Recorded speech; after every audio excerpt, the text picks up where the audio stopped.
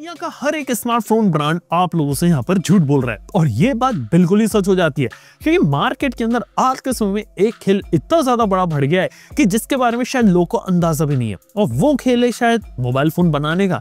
यानी कि अगर मैं आप लोगों को बोलूँ कि दस में से चार फ़ोन आज के समय में इंडिया के मार्केट में जो मिल रहे हैं, वो कंपनी खुद डिज़ाइन नहीं कर रही, वो बाहर किसी से बनवा के बस अपना लोगो लगा के बेच रही है। और ये कुछ कहानी बिल्कुल वैसी होती है, जैसा एक जमाने में आपके इंडियन ब्रांड किया करते थे जैसे माइक्रोमैक्स हो गया कार्बन हो गया लेमन हो गया स्पाइस इंटेक्स ये सब जो काम किया करते थे ना, कि चाइना से माल उठाते थे, अपना लोगो लगाते थे और यहाँ पे बेचते थे। खुद कोई ज़्यादा आर वगैरह नहीं करते थे। और यही चीज़ आज के समय फिर से यहाँ पे बहुत ज़्यादा तेज से बढ़ती जा रही है। और यहाँ पर मैं बात कर रहा हूँ आपके ओडीएम की। यानी कि ओडीएम वो कंपनीज़ होती है, जिसका यूज़ किया जाता है मोबाइल फ़ोन बनाने के लिए। यानी कि उस कंपनी के पास पूरा का पूरा पोर्टफोलियो तैयार है।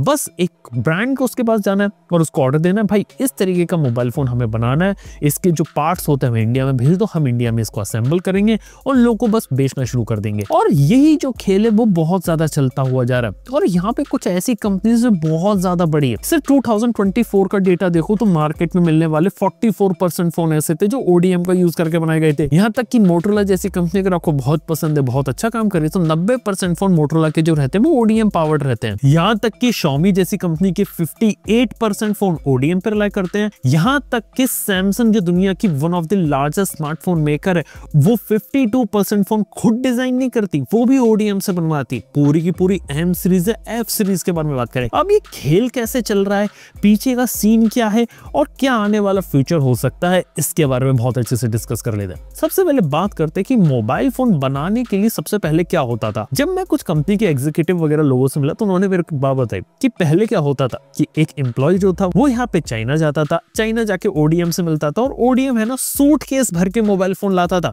कि भाई सूट केस खोला, चालीस फ़ोन आपकी टेबल पे रख दिए। और उसके बाद आप चूज़ कर रहे हो कि कौन सा फ़ोन लेना है, कौन सा फ़ोन नहीं लेना। जैसी तीन चार फ़ोन की डील हो गई, तुरंत वो चलता बनेगा।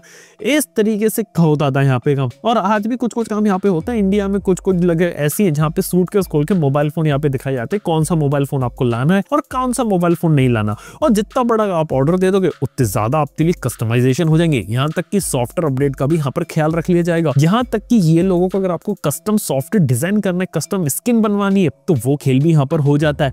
और इस वजह से मार्केट में ओडीएम वाले प्रोडक्ट यहाँ पे चलने लगे। हालाँकि 2014 तक यहाँ पे यही कहानी बहुत ज़्यादा चल रही थी कि चाइना जाके बस माल खरीदना, अपना लोगो लगवाना है इंडिया में बेचना है। लेकिन 14 से लेकर 17 का समय ऐसा था जब ढेर सारी चाइनीज़ कंपनीज़ की इंडियन मार्केट में एंट्री हो रही थी और बहुत सारे डेवलपमेंट हो रहा था, बहुत सारे नए फ़ोन आ रहे थे, बहुत सारी चीज़ें हो रही थी, जिसका इम्पैक्ट इंडस्ट्री के ऊपर यहाँ पर ये पड़ा। ज़्यादातर जो कंपनीज़ है, वो इतनी ज़्यादा प्रेशर में आ गई कि जल्दी जल्दी मोबाइल फ़ोन नहीं निकाल सकती। और जल्दी जल्दी नया इनोवेशन नया कुछ ना कुछ अगर निकालना पड़ेगा तो उनके लिए सबसे आसान रास्ता रहता है किसी ओडीएम का रूट पकड़ना, जिसके अंदर वो किसी भी मोबाइल फ़ोन मैन्युफैक्चरर के साथ बात करके यहाँ पे अपने मोबाइल फ़ोन के अंदर लोग अपना लोगो लगा के आपको मोबाइल फ़ोन बेच सकते हैं। अगर हम बात करें तो देर आर 53 ओडीएम कंपनी जो गूगल ने खुद लिस्ट करी है अपनी वेबसाइट के ऊपर, जो ओडीएम पार्टनर है गूगल के एंड्रॉइड ऑपरेटिंग सिस्टम के, जो लोग गूगल का एंड्रॉइड लेके लाइसेंस ले सकते हैं, यहाँ तक कि अपने मोबाइल फ़ोन में गूगल की सर्विसेज़ को डाल सकते हैं। और इन लिस्ट के अंदर अगर आप जाएँगे तो 90% of the companies are Chinese क्योंकि चाइनीज़ कंपनीज़ के पास ऐसे टूल्स आर एंड सब कुछ है, जिसका यूज़ करके वो आसानी से मोबाइल फ़ोन बना सकते हैं। और अगर हम बात करें दुनिया के टॉप थ्री ओडीएम कंपनीज़ की, जिसका शायद आपने नाम भी नहीं सुना होगा one of the biggest companies है लॉन्गशीर जो बनाती है, इसके बाद आती है हुआकिन इसके साथ एक विंगटेक आती है लक्स शेयर भी एक कंपनी है। ये लोग अलग अलग तरीके से मोबाइल फ़ोन बनाते हैं। और हाँ बजट फोन्स के लिए one of the most popular brand यहाँ पे कूसी एक ब्रांड हो जाता है, जो कि आपका एक चाइनीज़ कंपनी है। यानी कि ये सारे चाइनीज़ कंपनीज़ हैं जो आपके मोबाइल फ़ोन की डिज़ाइन आर एंड यहाँ पे सब कुछ कर सकते हैं। लेकिन इंडिया के अंदर हम लोग ये सुनते हैं ना कि 98 परसेंट या 99 परसेंट जो फ़ोन होते हैं, वो इंडिया में ही असेंबल होते हैं। बात बिल्कुल सही है। और इसीलिए इन जो चाइनीज़ कंपनीज़ होती है उन्होंने कुछ इंडियन कंपनी के साथ पार्टनरशिप कर रखी है। फॉर एग्ज़ाम्पल डिक्सन कंपनीज़ ने लॉन्ग शेयर कंपनी के साथ पार्टनरशिप कर रखी ज्वाइंट वेंचर है, जिसका यूज़ करके वो अपने इन हाउस मोबाइल फ़ोन को डिज़ाइन भी कर सकते हैं, यहाँ तक कि किसी भी बड़े मैन्युफैक्चर के लिए मोबाइल फ़ोन को बना सकते हैं। ऐसे ही माइक्रोमैक्स की ही old company Bhagwati private limited है, जिसके पास खुद की फैक्ट्रीज और उन्होंने हॉकिन नाम की चाइनीज़ कंपनी के साथ पार्टनरशिप कर रखी है। और क्या आप लोग को मालूम है कि ये लोग किस कंपनी के लिए मोबाइल फ़ोन बनाते हैं? वो है वीवो वीवो और आईको कंपनी के लोग मोबाइल फ़ोन बनाते हैं। यहाँ तक कि आप लोग को बता सकता हूँ वन प्लस के टैबलेट्स का भी जो प्रोडक्शन है, वो भागवती प्राइवेट लिमिटेड ही देखती है। इधर, जिसका यूज़ करके वन प्लस के जितने भी टैबलेट है, उनकी फैक्ट्री में ही यहाँ पर बन रहे हैं। और वहाँ पर भी किसी ना किसी ओडीएम पार्टनर को यूज़ किया जाता है। लेकिन जब हम बात करते हैं ओडीएम की तो क्या ये बिल्कुल सही है कि गलत है? देखो सिंपल सी बात है। ओडीएम पार्टनर का होना इंडस्ट्री के लिए बहुत ज़्यादा ज़रूरी है। अगर मार्केट में अगर ओडीएम पार्टनर नहीं होंगे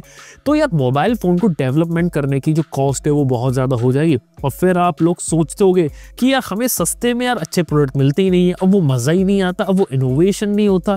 सस्ते में हमसे कुछ चीज़ें मिलती नहीं है। इसी वजह से ओडीएम यूज़ किया जाता है इवन ज़्यादातर फ़ोन हर एक ब्रांड के दस हज़ार रुपए के नीचे के सबके सब ओडीएम है। ओडीएम कंपनी अगर एग्जिस्ट ही नहीं करे तो दस हज़ार रुपए के नीचे के फ़ोन कंपनी बना ही नहीं सकती।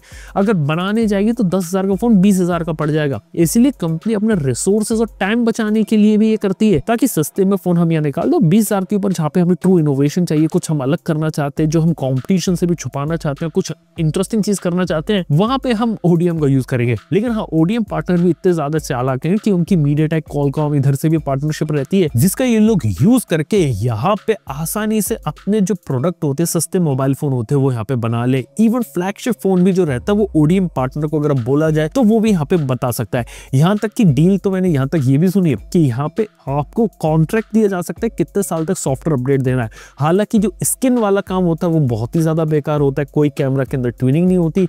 इस वजह से कई सारे बजट फ़ोन के अंदर कैमरा काफ़ी खराब होता है। और यही एक रीजन है कि कई कंपनी भले ही हार्डवेयर के लिए एक ओडीएम का यूज़ करे, लेकिन उसके अंदर जो सॉफ्टवेयर डलता है, कई बार इन हाउस डिज़ाइन करते हैं। जैसे कि सैमसंग के सभी फ़ोन के अंदर वन यूआई देखने को मिलता है। या वीवो अगर अपना फन टच ओएस यूज़ करेगा तो उसे इन हाउस यहाँ पे बना लेगा।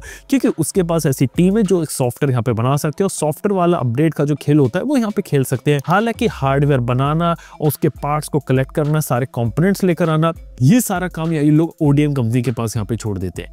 इसके साथ ही इंपॉर्टेंट चीज़ इधर ये कि ओडीएम का काम हो या ओईएम हो या कोई ब्रांड हो या फिर अगर मार्केट से एक फ़ोन उठा के सिर्फ़ अपना लोगो लगा के बेच रहा है, इससे इन द एंड बताऊँ क्या होता है कि एंड यूज़र को इससे कोई फ़र्क नहीं पड़ता। देखो एंड यूज़र को ये मानना पड़ेगा कि इन द एंड उसे प्रोडक्ट क्या मिल रहा है? उसे दस हज़ार, पंद्रह हज़ार में अगर उसे अपने पैसे की सही वैल्यू मिल रही है प्रोडक्ट की अगर क्वालिटी अच्छी मिल रही है फ़ोन के अंदर सॉफ्टवेयर अच्छा है कैमरा अच्छा है फीचर्स अच्छे मिल रहे हैं तो ये फ़र्क नहीं पड़ता कि वो कहाँ बना है, किधर डिज़ाइन है, इन सबसे से कोई लेना देना नहीं है। इन द एंड आप ये बताओ कि प्रोडक्ट कैसा बनता है। अगर प्रोडक्ट अगर आपका काफ़ी अच्छा बन गया तो यार उसके पीछे आप बिल्कुल जाइए, ये मत देखिए कि यहाँ पर क्या चीज़। लेकिन ये भी एक इंपॉर्टेंट फैक्ट है इंडस्ट्री का जो यहाँ पे चल रहा है। और एक और बात मैंने ऑब्ज़र्व करी थी। यहाँ पे मैंने एक वीवो का फ़ोन देखा था और एक दूसरी कंपनी का फ़ोन देखा था। दोनों के दोनों फ़ोन टोटली पे आइडेंटिकल थे। हार्डवेयर में छोटा मोटा डिफरेंस था डिज़ाइन भी काफ़ी तक सिमिलर था। बस मेजर जो डिफरेंस था वो सॉफ्टवेयर के अंदर था, क्योंकि वीवो जैसी कंपनी ने अपना सॉफ्टवेयर होता है वो यहाँ पे हैंडल कर लिया। इवन मोटरोला ने भी देखा तो मोटरोला का जो मोस्ट ऑफ़ द मार्केट रहता है, वो पंद्रह हज़ार रुपए के नीचे का है। और इस वजह से प्रोडक्ट देखा जाए तो मोटरोला सस्ते में बनाता है, ताकि ओडीएम का यूज़ कर सके। हालाँकि ओडीएम का यूज़ करने के कुछ नुकसान भी होते हैं। नुकसान नंबर वन ये है कि प्रोडक्ट के अंदर कंसिस्टेंट क्वालिटी नहीं आ पाती। कंसिस्टेंसी का मतलब ये कि आपने ओडीएम पार्टनर के साथ एक फ़ोन बना लिया। वो फ़ोन अच्छा है, उसके अंदर बहुत अच्छी क्वालिटी फीचर स्पेसिफिकेशन अच्छी मिल रही है। लेकिन सेम ओडीएम पार्टनर के साथ अगर आप दूसरा फ़ोन बनाने जाएँगे तो कोई गारंटी नहीं कि फीचर क्वालिटी बिल्कुल वैसी मिले। हो सकता है उसका कैमरा बिल्कुल ही खराब हो, क्योंकि एक ओडीएम कंपनी का काम सिंपल सा ये रहता है कि भाई मार्केट में जल्दी जल्दी नए प्रोडक्ट निकालो, जल्दी जल्दी इनोवेशन करते रहो, जल्दी जल्दी कुछ ना कुछ लेकर आते रहो सप्लायर से बनाते रहो। और उनका काम मार्केटिंग है ही नहीं। जब भी मार्केट में कुछ आता रहता है, तुरंत बना के बेचते रहते हैं। और इस केस के अंदर ओडीएम के अंदर कई बार जिस फ़ोन को हम बिल्कुल कचरा कहते हैं ना, वो ही मार्केट के अंदर आता है। हालाँकि वो चीज़ बहुत कम हो चुकी, दस हज़ार की बिल्कुल ही नीचे पहुँच चुकी है चीज़। लेकिन कभी कभी मार्केट के अंदर ये चीज़ें यहाँ पर हो जाती है। और जितनी भी बड़ी बड़ी कंपनीज़ इंडिया में दावे करती है कि हम इंडिया में अपनी आर करेंगे डिज़ाइन करेंगे फ़ोन को यहाँ के लिए सॉफ्टवेयर बनाएँगे नाइनटी कंपनीज़ के इंडिया में यहाँ पे लिटरली कुछ भी एग्जिस्ट नहीं करता है। सारी की सारी चीज़ें वो बाहर चाइना से डिसाइड होती है ओडीएम पार्टनर उनके लिए डिसाइड करते हैं। इंडिया में 90 परसेंट कंपनी अपना सिर्फ़ मार्केटिंग का खेल खेलती है। ये भी एक सैड रियलिटी है। इसके साथ ही अगर मैं बात करना चाहूँ कि कौन सी कंपनी ओडीएम पार्टनर को बिल्कुल भी यूज़ नहीं करती, सिर्फ़ दो ही ऐसी कंपनी जो बिल्कुल यूज़ नहीं करती है। एंड्रॉइड में देखा जाए तो सिर्फ़ एक ही नाम है, और वो है गूगल का। गूगल पिक्सल खुद अपने फ़ोन को इन हाउस डिज़ाइन कर रही है, सारे काम खुद कर रही है। और दूसरा नाम एप्पल है। इन दो के अलावा हर एक कंपनी यहाँ पे लगी हुई है। तो हाँ यार ओडीएम का यूज़ अच्छी बात भी है। अच्छी बात है कि लोगों को सस्ते में फ़ोन मिलता है, लोगों को अच्छी क्वालिटी का फ़ोन कई बार सस्ते रेट के अंदर मिल रहा है। और जो मासिफिकेशन होता है इंडस्ट्री के अंदर स्मार्टफ़ोन के अंदर, उसके अंदर ओडीएम का काफ़ी अच्छा रोल है। क्योंकि अगर ओडीएम एग्जिस्ट नहीं करता तो फ़ोन के लिए आप बहुत ज़्यादा पैसा दे रहे होते हैं। खराब चीज़ इसमें है कि कई बार ओडीएम वाले प्रोडक्ट के अंदर क्वालिटी सब स्टैंडर्ड भी मिलती है, जिसके अंदर आर पे कंट्रोल नहीं होता क्वालिटी पे कंट्रोल नहीं होता, और इवन कई केसेस में तो सॉफ्टवेयर पर भी कंट्रोल नहीं होता। जिस वजह से लोगों को एक अच्छा एक्सपीरियंस देखने को नहीं मिलता तो वो भी एक चीज़ है। और इसी वजह से जो कंसिस्टेंट क्वालिटी रहती है किसी भी प्रोडक्ट वो अपने कंसिस्टेंटली सभी प्रोडक्ट के अंदर नहीं दे पाती। मोटरोला का एक अच्छा एग्ज़ाम्पल ले सकता हूँ। मोटरोला के कुछ ऐसे फ़ोन देखे जिनका कैमरा अच्छा कुछ ऐसे फ़ोन देखे जिनका कैमरा बिल्कुल खराब है, और नेक्स्ट वर्जन में कई बार चीज़ें बिल्कुल ही बदल देते हैं। तो वहाँ पे इधर काम करने की काफ़ी ज़्यादा ज़रूरत है। इवन मैंने ये भी ऑब्ज़र्व किया कि यहाँ पे इंडस्ट्री के अंदर एक और इंटरेस्टिंग चीज़ चल रही है कि ओडीएम का शेयर धीरे धीरे अब इंक्रीज होता जा रहा है और हर साल ये धीरे धीरे बढ़ता जा रहा है और हर साल मार्केट में तेज़ी से चीज़ आ रही है। अब बस यही है कि यार इंडिया में खुद के ओडीएम पार्टनर की यहाँ पे सच में ज़रूरत है, जो इंडिया में इन हाउस फ़ोन डिज़ाइनिंग वगैरह इधर सारी चीज़ें हो सके। क्योंकि अभी भी हम मैन्युफैक्चरिंग वाले साइड में तो आ रहे फ़ोन डिज़ाइन और आर वाली चीज़ है ना, उसमें अभी भी थोड़ा सा पीछे जहाँ पे और काम यहाँ पे होने की ज़रूरत है। चिप डिज़ाइनिंग वगैरह धीरे धीरे इंडिया में आ रही है, लेकिन प्रोडक्ट डिज़ाइनिंग पूरा का पूरा फ़ोन कैसे डिज़ाइन हो जाए, वो अभी इंडिया में अपना थोड़ा सा डिफ़िकल्ट यहाँ पे लगता है। इसके साथ ही ये भी बोलना चाहूँगा कि हाँ यार चाइनीज़ कंपनीज़ ने इंडिया के कंपनी से पार्टनरशिप वगैरह करके इंडिया में मैन्युफैक्चरिंग तो कर लिया, लेकिन फिर भी अभी भी जो खेल है, ज़्यादातर कंपनी का यही है कि कंपोनेंट कुछ ही हम होंगे जो इंडिया से सोर्स करेंगे, लेकिन क्रिटिकल कंपोनेंट या फिर कुछ केसेस पे पूरी की पूरी किट्स बना दी जाती है उसे ही इंडिया में ट्रांसफ़र किया जाता है, जिसका यूज़ ये लोग इंडिया के अंदर असेंबलिंग वगैरह में करते हैं। लेकिन देखते हैं, आने वाले समय में क्या होता है, किस तरीके से काम होता है, किस तरीके से चीज़ें बनती हैं। बाकी आप लोग क्यों नहीं बताते कि आप लोग कौन सी कंपनी का फ़ोन यूज़ करते हो और इस वाला जो पूरा जो सिचुएशन चल रही है ओडीएम की और ओईएम की, इस बारे में आप लोग के ओपिनियन है। नीचे अपनी बात ज़रूर से कमेंट बताइए। थैंक यू बने रहने के लिए। मैं आप सुनता हूँ अपने नेक्स्ट वीडियो के अंदर। Good bye